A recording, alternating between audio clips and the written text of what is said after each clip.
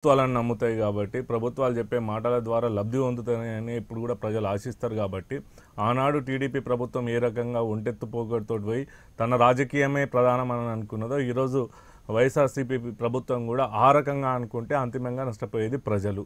ఈరోజు చంద్రబాబు నాయుడు ఇప్పటికైనా కృత్రిమమైనటువంటి ఉద్యమాలు సృష్టించి తద్వారా రాజకీయ లబ్ధి పొందాలనేటువంటి ఆలోచన. ఎందుకంటే ఈరోజు రాజధాని అనేది విజయవాడ ప్రజలకు అవసరమే అక్కడ ఉన్నటువంటి చుట్టుపక్కల ప్రాంత ప్రజలందరికి అవసరమే. కానీ కనబడుతున్నటువంటి ఉద్యమం కేవలం రైతుల ఉద్యమం లాగా కనబడతా ఉన్నది మనకు. ఇప్పుడు రాష్ట్ర వ్యాప్తంగా కూడా అమరావతి రాజధాని కావాలని అనుకుంటే ప్రజలు పెద్ద ఎత్తున రోడ్ల మీదకి వచ్చేటోళ్ళు ఒకసారి కనుక ప్రజలకు అన్యాయం జరుగుతుందంటే ఎవరు నేతృత్వం వహించినా వహించకపోయినా ప్రజలందరూ కూడా పెద్ద ఎత్తున బయటకు వస్తారు కాబట్టి ప్రజలలోనే పెద్ద ఎత్తున భిన్న స్వరాలు కనబడతా ఉన్నాయి కాబట్టి ఇప్పటికైనా మంచేది చెడేది అనేటువంటి విషయంలో రాజకీయ పార్టీలే ఎక్కువ చొరవ తీసుకొని ప్రజల్ని చైతన్యవంతులు చేయాల్సినటువంటి అవసరం ఉంది. సేమ్ టైంలో కూడా రైతులకు జరిగినటువంటి అన్యాయం విషయంలో ఏదైతే వాళ్ళని ఏ రకంగా వాళ్ళకు అంటే ఆర్థికంగా లాభాన్ని స- చేకూర్చగలుగుతామో ఈ మార్పు వల్ల వాళ్ళకు లోపల ఉన్నటువంటి నష్టాన్ని ఎట్లా పూడ్చగలుగుతాం అనేది ప్రభుత్వం ఆలోచించాలి. ఎందుకంటే ఒకవైపు ఉద్యమం చేస్తూనే ఉంటేనే ఒక మంత్రి వాళ్ళ మంత్రి మాట్లాడుతూ ఉన్నాడు. మీ రైతుల భూములు మళ్ళీ మీకు మీకు ఇచ్చేస్తే మీరు మళ్ళీ వ్యవసాయం చేసుకోవచ్చు కదా.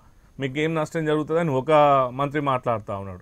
అంటే ఇదంతా ఒక కుట్ర కోణంతో వైఎస్ఆర్సీపీ ప్రభుత్వం నడిపిస్తున్నదా అనేటువంటి అనుమానం అయితే బలంగా ఉన్నది. కాబట్టి ఇట్లాంటి కుట్ర రాజకీయాలకు ఇంకేని ఆనాడు చంద్రబాబు నాయుడు చేసింది కుట్ర రాజకీయాలు. ఈరోజు వైఎస్ఆర్సీపీ ప్రభుత్వం చేస్తున్నది కుట్ర రాజకీయాలు. ఎన్ని రోజులు ఇంకా మీ రాజకీయ మీ సొంత ప్రయోజనాల కోసం ఆంధ్రప్రదేశ్ మీ సొంత మీ రాజకీయ పార్టీల సొంత ఆస్తిలాగా ఇంకెన్ని రోజులు ప్రజలను మభ్యపెట్టి ఆంధ్రప్రదేశ్ ప్రజలను గందరగోళంలో పరిచేటువంటి పరిస్థితి నిర్మాణం చేస్తారు అనేది ప్రశ్న అయితే ఉంది. కాబట్టి ఈ పరిస్థితులకి వెళ్ళి బయటకు తీసుకురావాల్సినటువంటి అవసరము ముఖ్యంగా రాజకీయ పార్టీల మీదనే ఎక్కువ ఉన్నది. ఇప్పుడు ప్రతిదీ అడుగు అడుగు రాజకీయ లబ్ధి కోసమే ఆలోచించి అడుగు అడుగు రాజకీయ ప్రయోజనమే ముఖ్యం అనుకొని అడుగు అడుగు ప్రజల్ని మోసం చేసిన. అంటే ప్రజలు ఎక్కడైనా పోని మనం చెప్పేది మాత్రమే వాస్తవం అనేటువంటి పద్ధతిలో ముందుకు వెళ్తూ ఉంటే అది ప్రజలకు నష్టం జరుగుతూ ఉన్నది. ఎందుకంటే ఉమ్ రాష్ట్ర విభజన తర్వాత ఉమ్మడి రాజధానిగా హైదరాబాద్ను పది సంవత్సరాల కాలం పాటు వాడుకొని ప్రశాంతంగా పది సంవత్సరాలలో మీరు అక్కడ రాజధాని నిర్మాణం చేసుకోమని ఆనాడు విభజనలో క్లియర్ కట్గా చెప్పిండ్రు.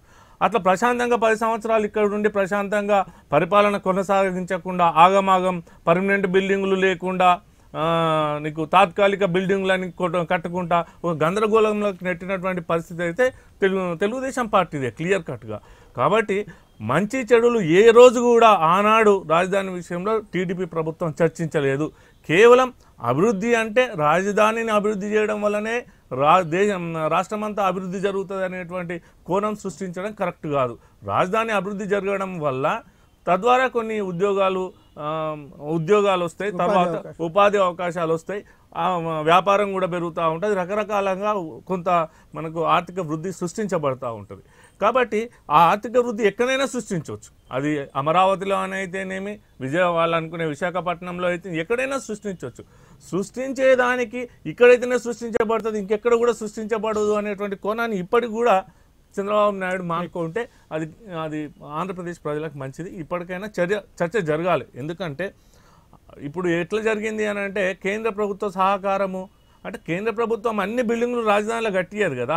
ప్రభుత్వానికి అవసరమైనటువంటి బిల్డింగ్లు ఇన్ఫ్రాస్ట్రక్చర్ కేంద్ర ప్రభుత్వం నుంచి మీరు ఇచ్చేసి ఉంటే ఈ పాటికి నగరం రెడీ అయ్యేదండి. ఇప్పుడు అదే మాటతోటి ఇప్పుడు ఆ మాటతోటి చంద్రబాబు నాయుడు చేసినటువంటి తప్పులను కప్పిపుచ్చుకోవడం కోసం ఆ మాటను పదే పదే లక్షా పదివేల కోట్ల రూపాయలు కేంద్ర ప్రభుత్వం ఇవ్వకపోవడం వల్ల నేను కట్టలేకపోయినా అనేటువంటి మాట తప్పించుకునేటువంటి మాటతోటి.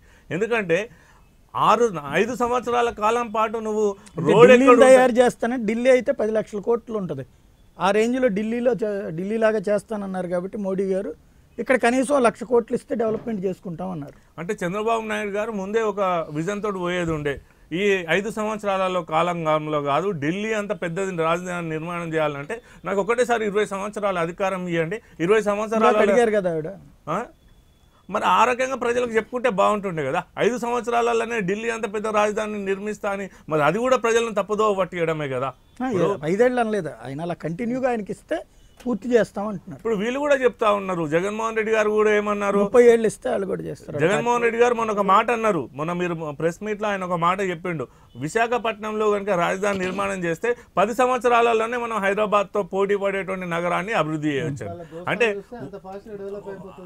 అంటే ఎవరి వ్యూహాలు ఎవరి ఆలోచనలు ఎవరి పద్ధతులు వాళ్ళు అవలంబిస్తున్నప్పుడు ఎవరి మాట నమ్మాలి ప్రజలు అనేది కూడా ప్రశ్నే కదా. ఇప్పుడు జగన్మోహన్ రెడ్డి కూడా పది సంవత్సరాలలో నేను హైదరాబాద్తో పోటీ పడేటువంటి రాజధాని విశాఖపట్నంగా తీర్చిదిద్దుతా అంటాడు. అంటే వీళ్ళ మనసులలో వ్యక్తిగతంగా చంద్రబాబు నాయుడు మనసులో కానీ వైఎస్ఆర్సీపీ అధినేత జగన్మోహన్ రెడ్డి గారి మనసులో కానీ ఏ మాట ఉంటే ఆ మాట ప్రజలకు చెప్పి ఆ ప్రజలు దాంట్లో మమేకం కావాలని కోరుకోవడం లేకపోతే అది తప్పు అని వేరే రాజకీయ పార్టీలు మాట్లాడితే మొత్తం కూడా మీరు ఆంధ్రప్రదేశ్ ప్రజలకు అన్యాయం చేస్తున్నారు అనేటువంటి మాట్లా మాట్లాడడం ఈ రెండు పార్టీలకు ఆనవాయితీగా మారింది.